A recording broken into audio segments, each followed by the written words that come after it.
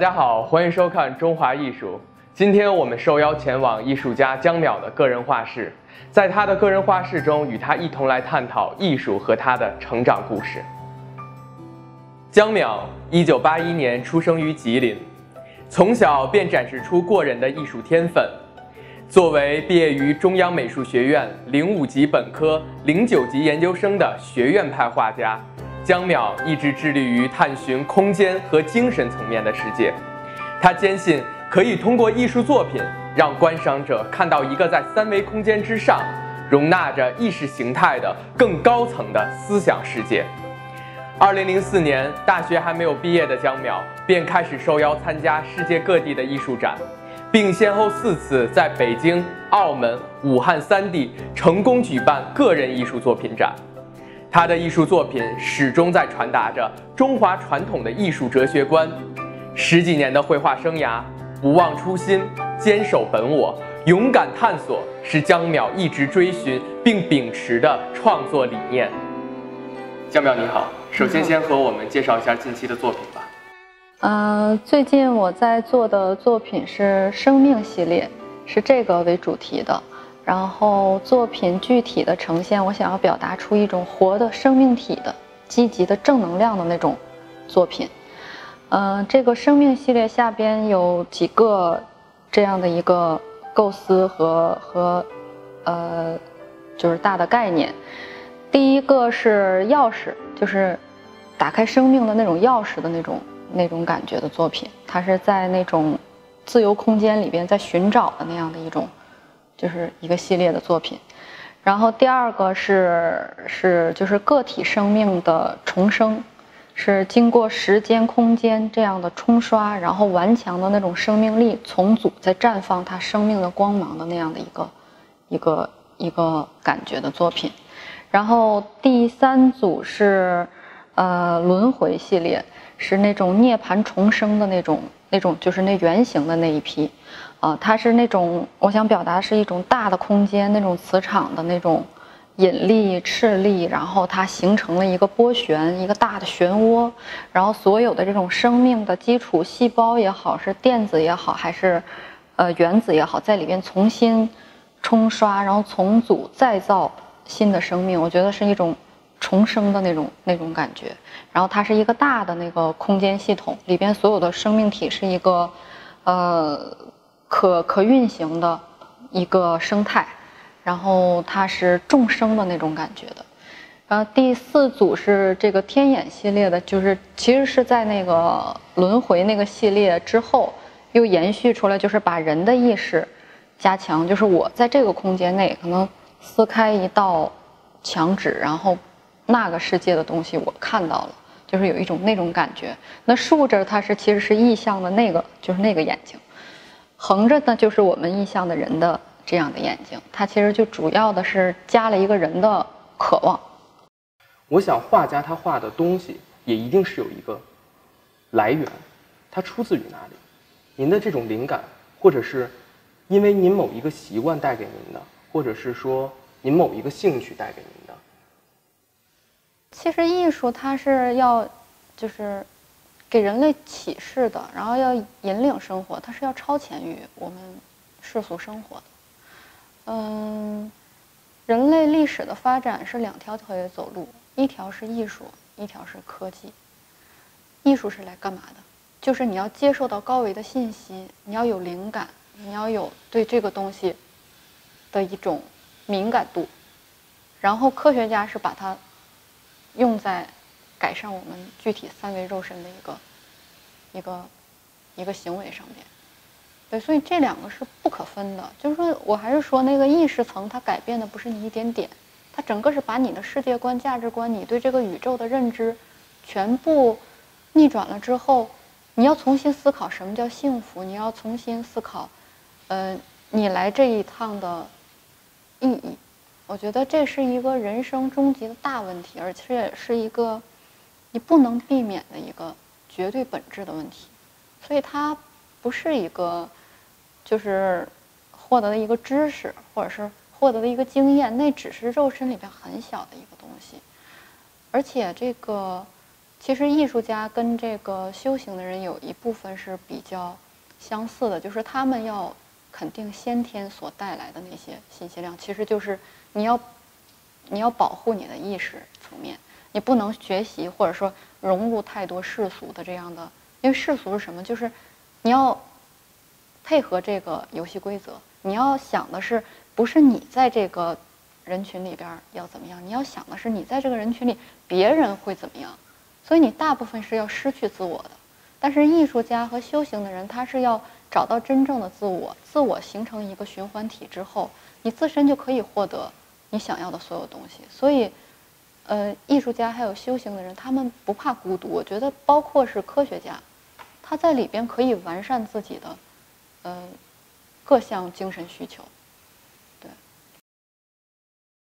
其实刚走进江淼工作室的时候。他画面当中色彩的艳丽和图案的新奇是最吸引我眼球的。问过江淼之后才知道，他用了当下特别少有的一种创作方式，就是以丙烯上色为基础，呃，同时呢，再通过雕刻的方式呈现出最终的视觉上动态以及立体的效果。呃，在画面当中细腻鲜明。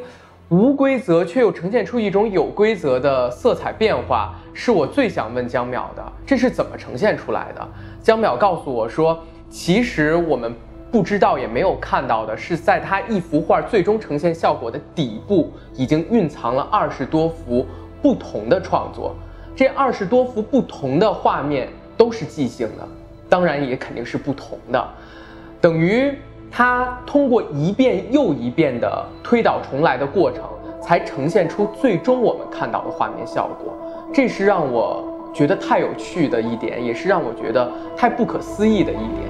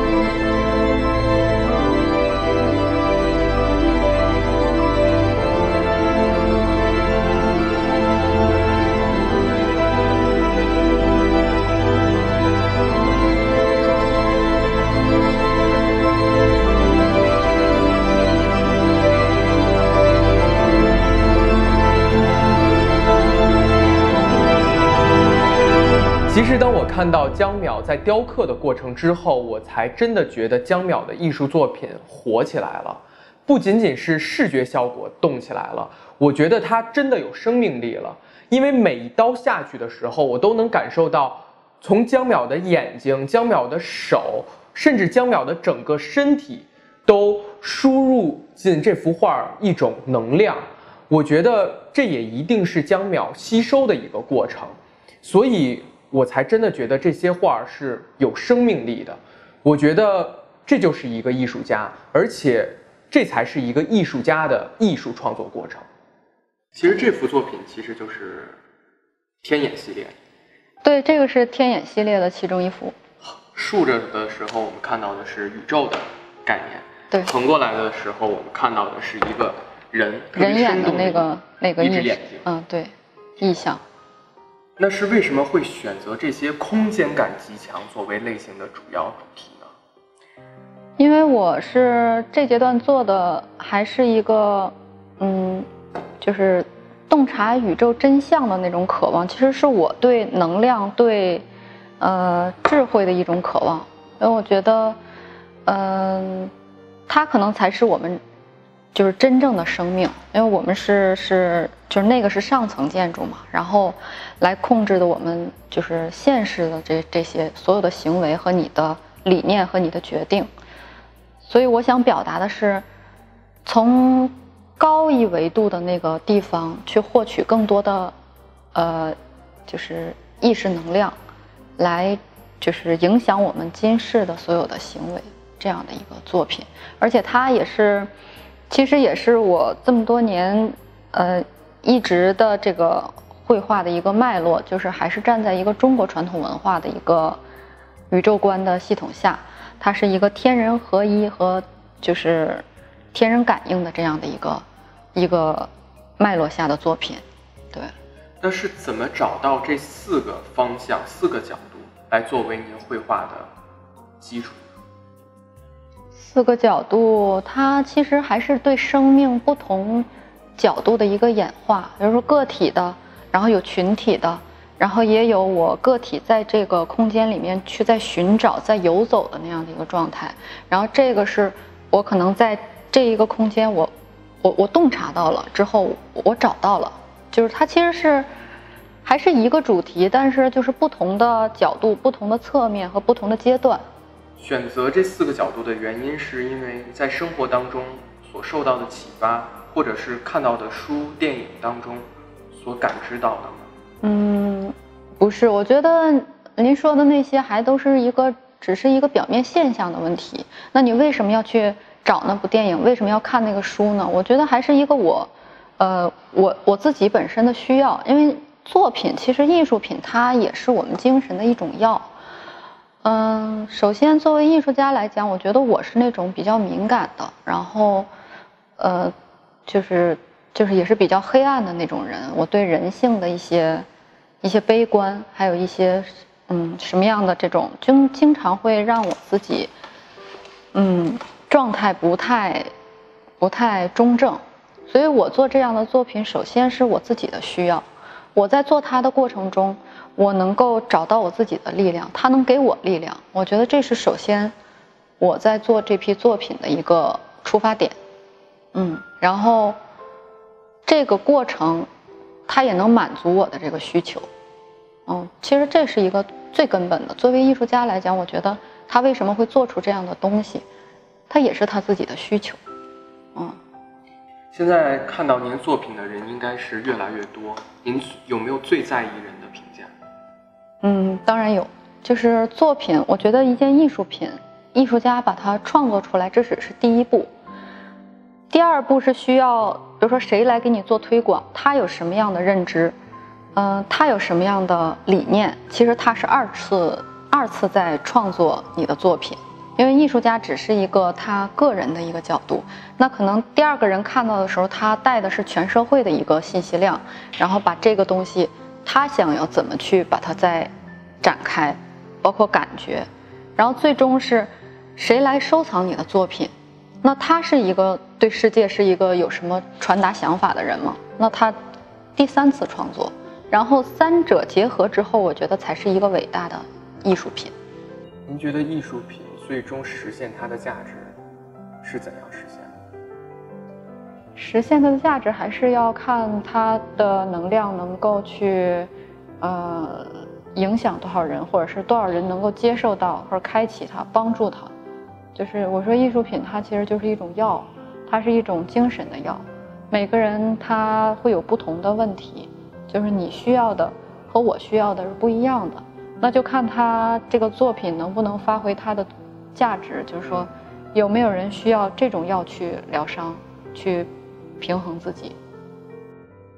但是首先，作为我是艺术家来讲，我首先它是能够满足我自己的。嗯，它是一个社会性的东西，所以它不是一个人、两个人能够呃能够判断的。我们现在常说，常听到一个观念，就是看不懂的艺术。它好像就是比较高级的艺术，它就是比较好的艺术，是这样吗？那肯定不是这样，就是看不懂这个是有很多因素。一种呢是，呃嗯，就是看不懂你是在一个什么样的语境下边说的。比如说你很感兴趣，你说，但是我只是看不懂，那这个其实是一个值得研究、很有价值的问题，因为。你感兴趣，你的感知已经认可它了的时候，你的现实的知识或者什么的不能够寻找出它的逻辑，这个我觉得没有问题，因为作品本身它就是启发你那个那个心灵的点，你已经感知到了，其实你已经理解到了。然后其他的东西就需要你慢慢梳理自己，不要用那个呃思维逻辑去考虑，你思维逻辑超不出肉身和三三维空间的这些事儿，它还是还是就是不能进入到意识层，你只要感知到就好，然后里边的东西就慢慢体会。嗯，还有一种就是如果完全看不懂，那我觉得它就不是你需要的东西。然后还有一种作品就是说。看不懂那个也很正常，就是实验艺术，看不懂是很正常的。因为作者，我觉得他本身他自己都看不懂，因为他做实验，他是在希望自己把这个艺术向前推进，不停的可以做各种就是无意识的实验，然后能不能从一个实验里找到一个什么样的一个新的东西，或者是未来的东西，那那种的就就是。就是跟科学家做实验差不多，啊，你不需要懂，你只需要觉得你想不想去支持它就行。您觉得艺术作品，如果说欣赏者无法理解的话，还是欣赏者没有理解到艺术家吗？或者没有达到艺术家的高度吗？就是每个人是自己最了解自己的需求，嗯，艺术它还是精神的需求。你每个人需要什么样的艺术品也是不一样的，你要选，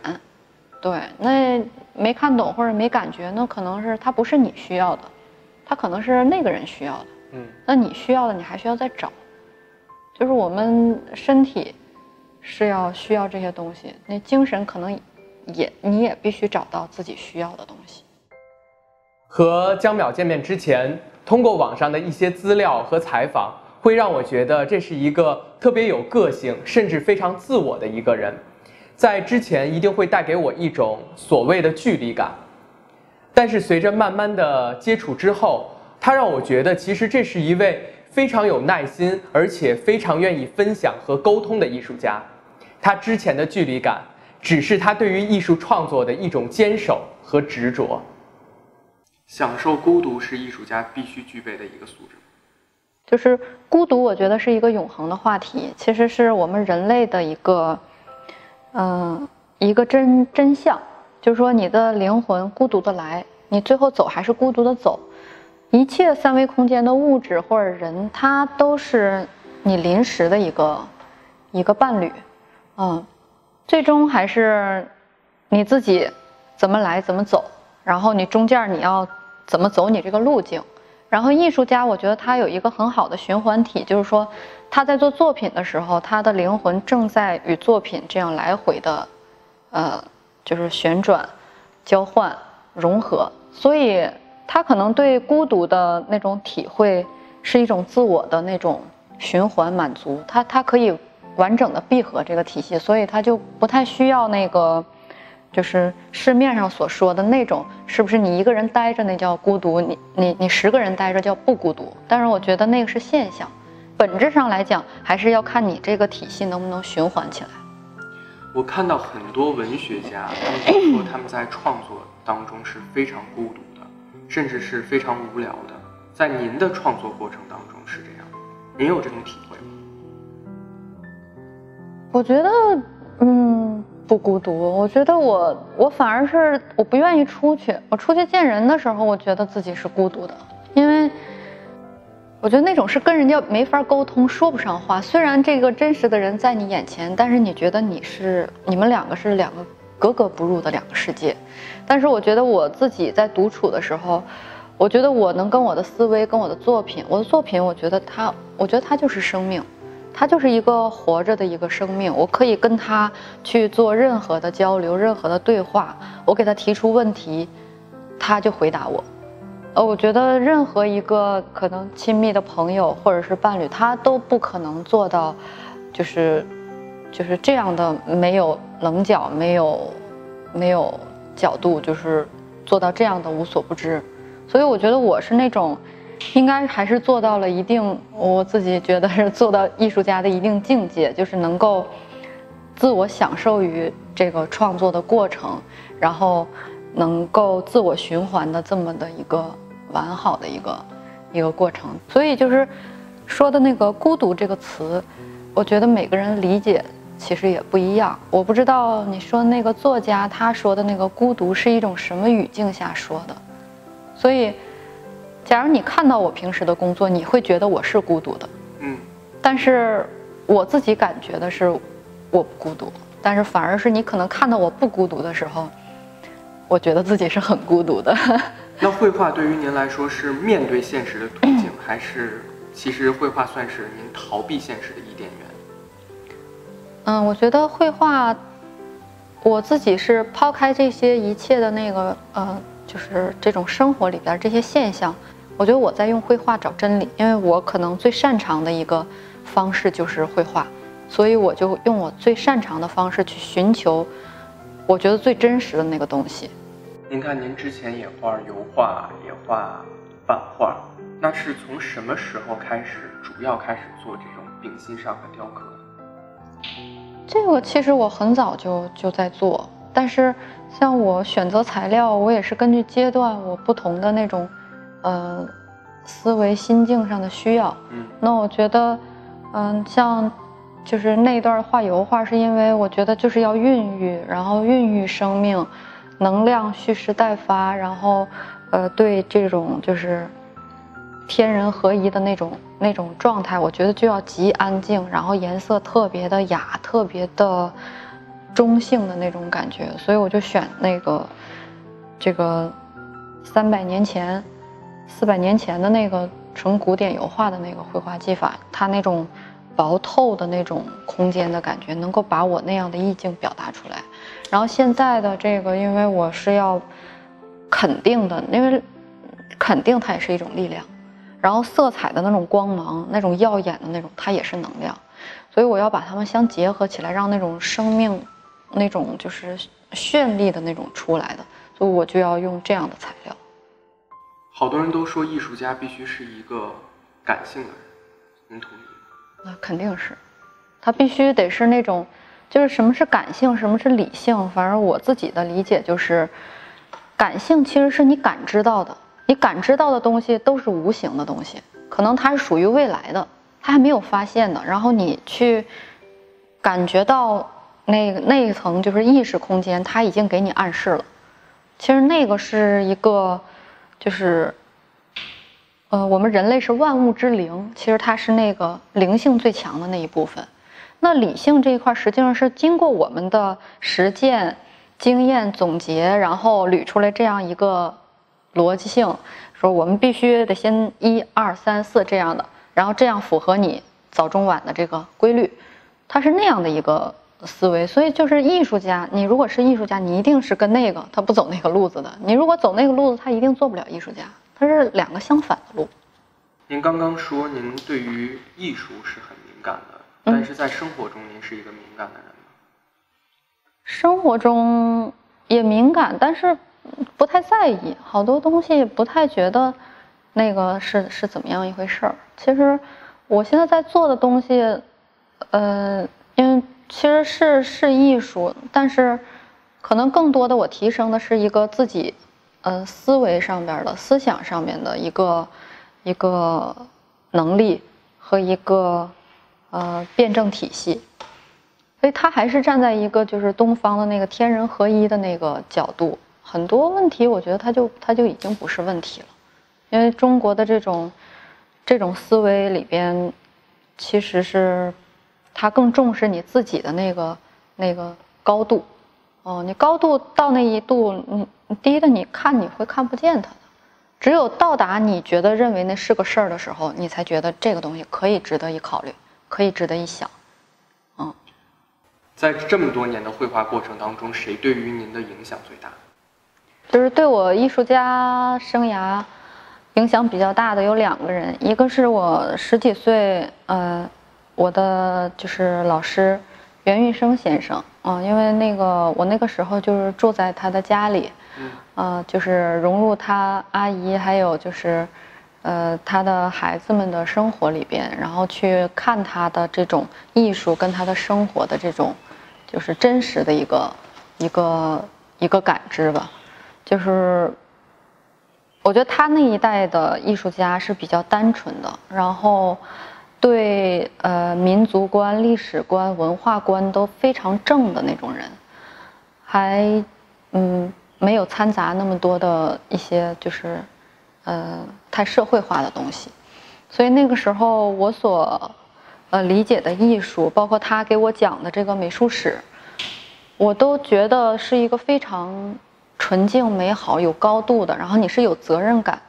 有使命感的这样的一个。一个一个身份，所以就是奠定了我觉得我作为艺术家来讲，我的一个嗯标格吧，就是我我在做什么，我觉得是那个时候就是老人家给我的这种影响，然后之后决定了我后边儿这种嗯现在的这样的生活的，我觉得还有一个人就是我上中央美院的时候，呃我的系主任。呃，苏新平先生，他现在是中央美院的副院长。对，当年他还是，呃，我觉得是，嗯，拨正了我的一些行为。因为我毕业的时候，可能就是当时没有什么对未来的期望，然后就想可能跟大部分的孩子一样，或者选择是出国呀，或者怎么样的。但是他当年就是一直在鼓励我说：“你很适合做艺术家。”你不要去浪费你的时间。然后当时我都已经去学语言了，然后他给我打电话，他说：“哎呀，你别瞎折腾了，国外现在也也没有你想的那么好，你不要浪费时间，你就好好在国内画画。然后说你就这样，你考我的研究生，然后你就就就留在国内嘛。所以当时我就觉得，哎呀，太好了，那个有老师喜欢招我的话，那我就就。”那我还有什么可选择的呢？我就回来继续就租工作室啊，画画，然后读研，这样下来。所以他基本是决定了我后边这个脉络。我我也很感恩于他，不然的话，我觉得我出了国肯定是没有，就是现在这么多的精力时间去好好做我喜欢做的事情。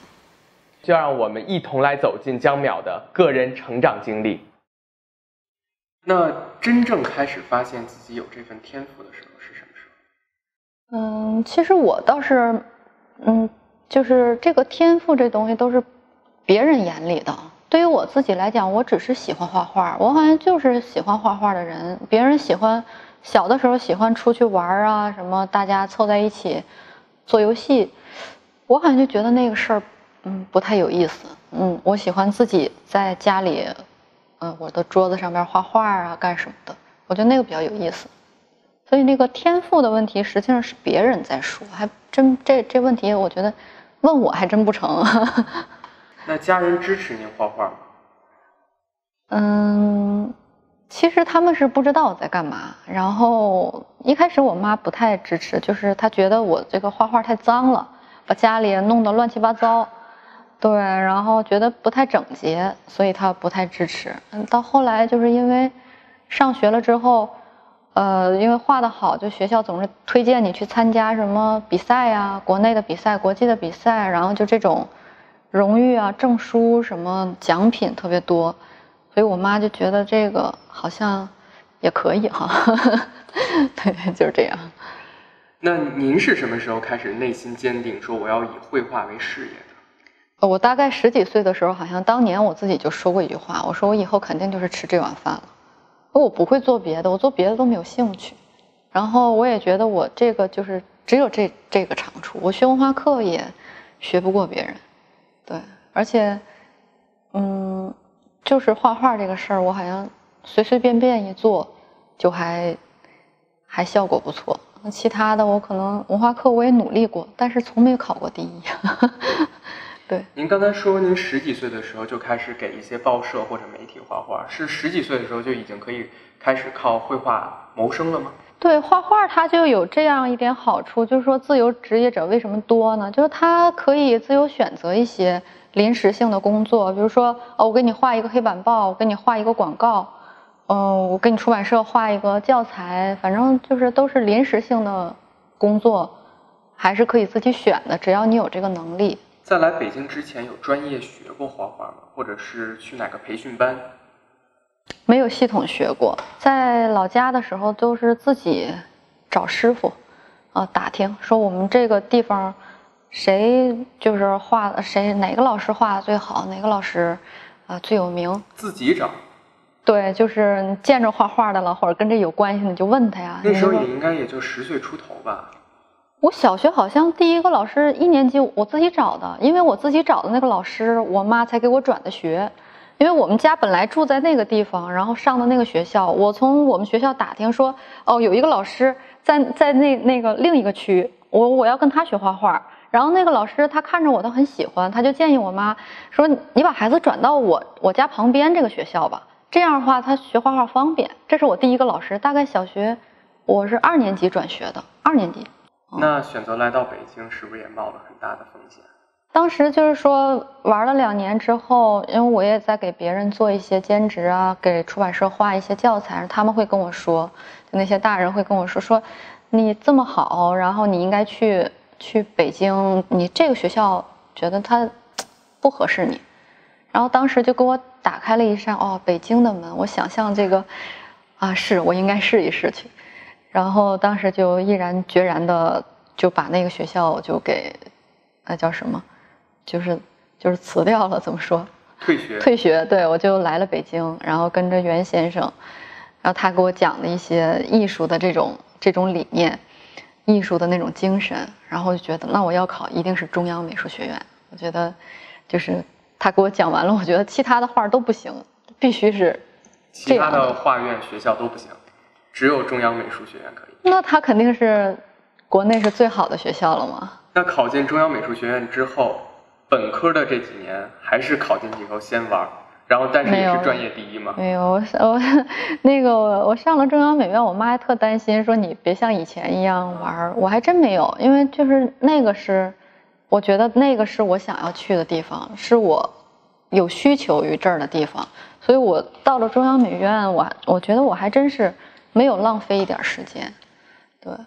我觉得每一年的那个课程还有那个。就是我我所思考的东西，我觉得都是一步步给我现在的这个阶段在在夯实的一个过程。在中央美术学院的状态是一个什么样的？每天自己关在屋里画画，后半夜三点半回，然后就是就是也属于比较特立独行的吧。嗯，每天都算是最晚的一个休息的人吗？对，我是女生宿舍满楼里边最后一个回去的。那老师肯定都特喜欢你。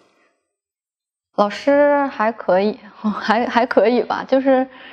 嗯，也也不是全喜欢，但是他可能比较重视你的，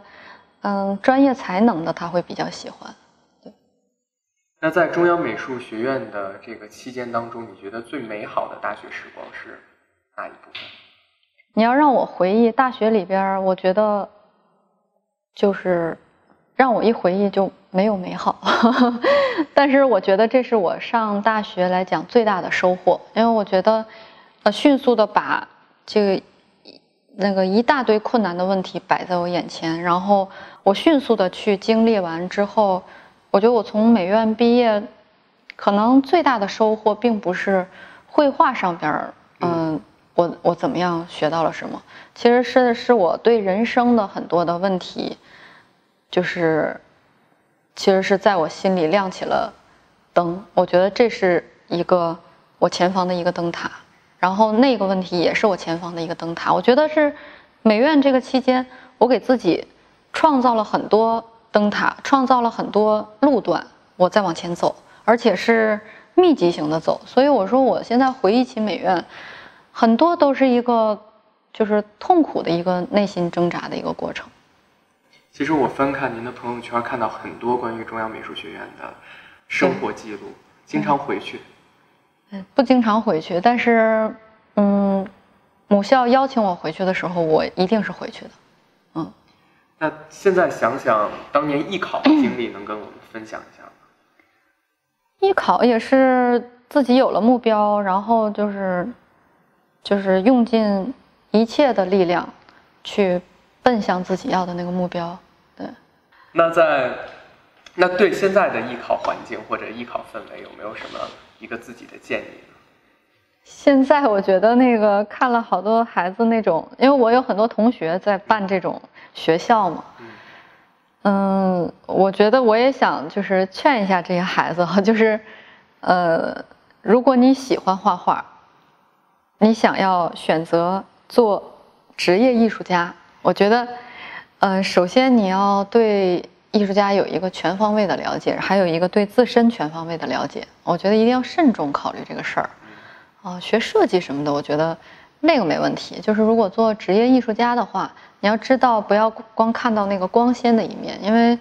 呃，艺术家其实百分之九十九的时间，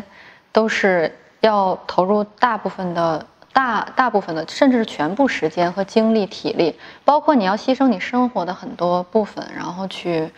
完成一个相对来讲还不错的作品。所以就是，呃，一定是要有极大的热爱和。极其不能放弃的这样的一个一个信念，你才能够去把这个艺术家坚持到最后。最怕的就是不是说怕你做艺术家，最怕的就是你坚持了十年，发现你不适合，然后你再去改行，重新来过做别的。我觉得那个是就是挺很可惜的。您觉得现在的美学教育也好，或者是绘画专业的教育也好，还存在哪些问题吗？啊，现在的教育我觉得问题太大了，就是现在我觉得中国，我觉得是教育的问题是是是最大的问题。嗯，那教育这里边，我觉得最大的问题就是美学的教育太差了。其实很多这种。嗯，我们中国人出去不好看呀，然后很多礼节呀、什么道德呀，它归结起来可能还真不是那些问题，不是什么你素质啊什么的。我觉得可能审美，你就没有这个能力，你有这个能力，你就不会把那些东西乱放，你就不会把衣服穿成那样，对吧？你就不会，就是在众多的东西里边，你挑一个最难看、最丑的东西带回来。所以这个，你只要美学素养上去了之后。什么很多道德，你肯定不会随地吐痰，嗯，你自己你都受不了这种不美啊，对吧？他 这好多问题就解决了，所以就是我觉得美学教育不要推到让你职业化的那一步，就是说到大学你才选择这个专业，你以后就就实实在在做这一行。其实这一行，